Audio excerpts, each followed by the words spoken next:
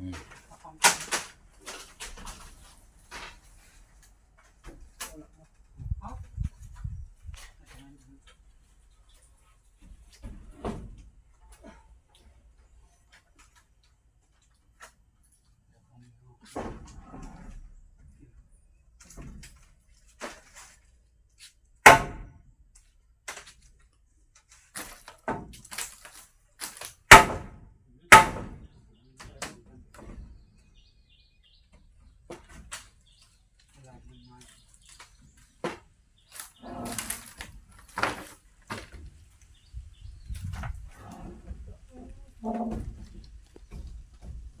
em thấy cha trong khi lập bình đầu tiên này mấy?